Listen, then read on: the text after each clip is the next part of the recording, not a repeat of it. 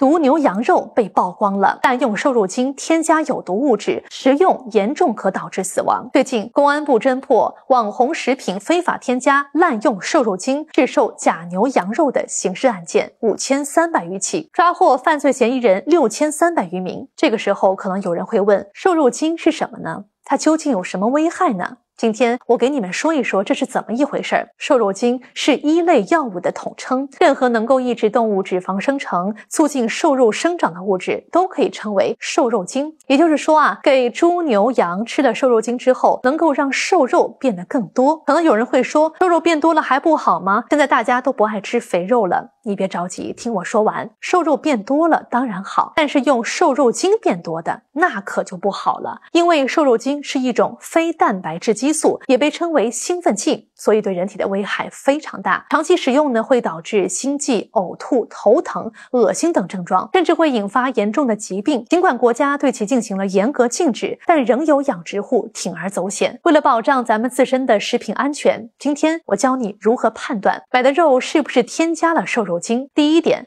看肉皮下是否有肥肉。如果肉皮下只有瘦肉或者肥肉特别薄，那就不正常了。第二，喂过瘦肉精的瘦肉外观特别鲜红，肉质疏松，而健康的肉呢是淡红色的，肉质有弹性。